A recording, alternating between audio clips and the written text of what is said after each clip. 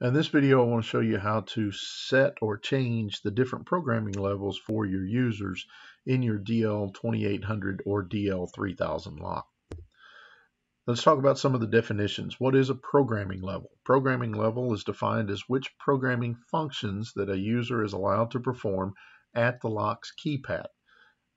These levels include M, 4, 3, 2, and 1, M being the highest, 1 being the lowest level programming function is a keypad sequence used to program a trilogy lock.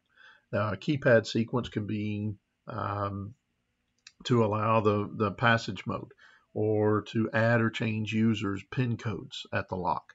So all of these are a different programming function. Now the programming manual that comes with the lock, it has all of these levels spelled out, starting at function number one, which is changing the master code, all the way to function 99, which is defaulting the lock at the keypad.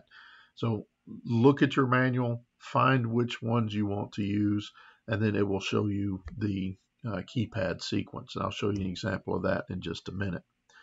User numbers. The user number is assigned to a user when programming the lock at the keypad.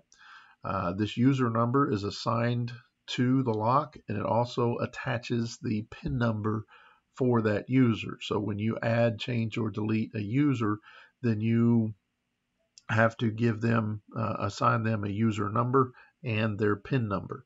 Now, these numbers are associated with the master, the managers, the, the supervisors, the basic users.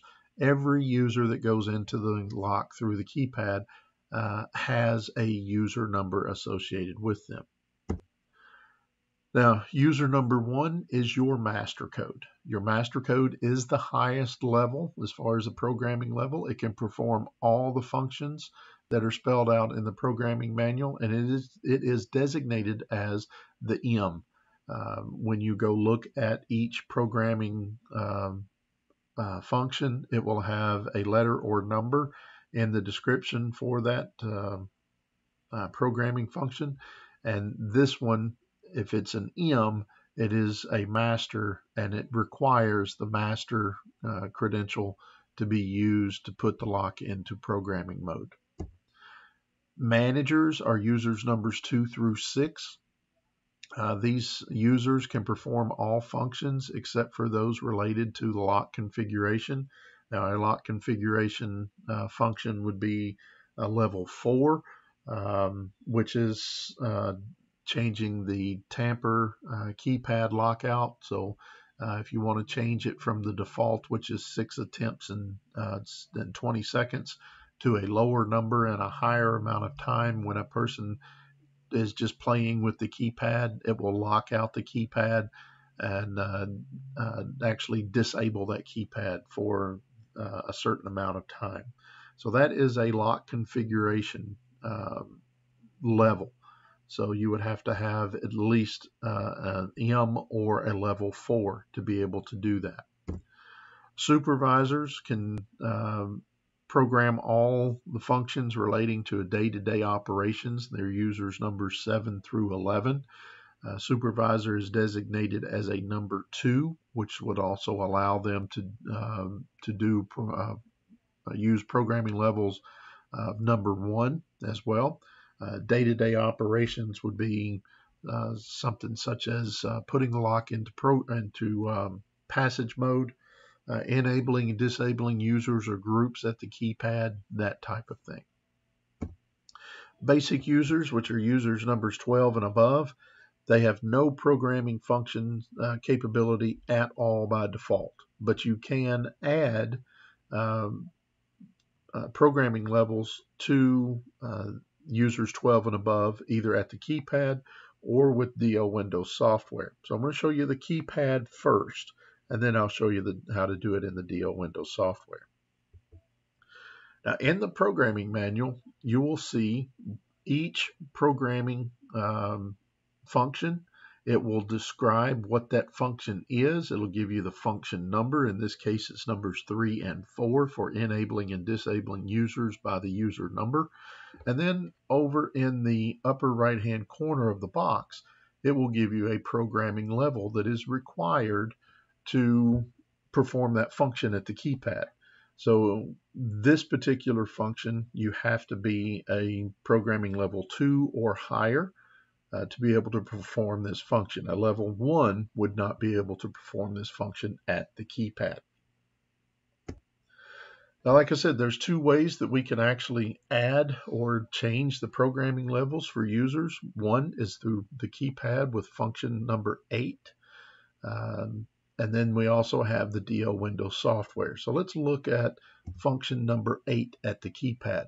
So you would open up your programming manual. You would find function number 8, which they're in numerical order from uh, function 1 through function 99.